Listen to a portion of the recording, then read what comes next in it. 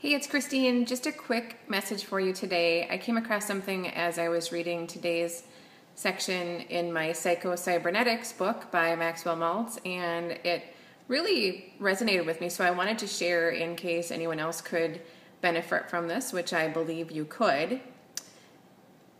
Dr. William Osler had said that a simple habit, which could be formed like any other habit, was the sole secret of his happiness and success in life. And he suggests to live life in day tight compartments.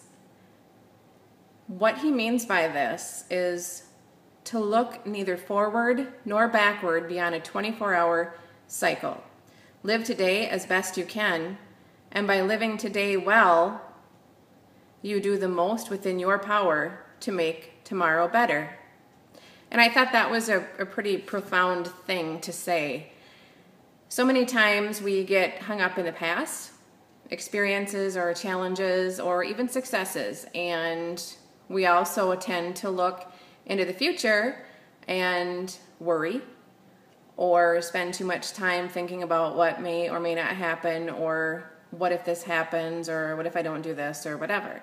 So, as he suggests, try living in just today. Just get up every day and say, what do I want to do today? What can I do today that's going to help get me in the direction that I want my life to go? And just worry about today. With that, I hope you guys have an amazing afternoon, and I will be back a little bit later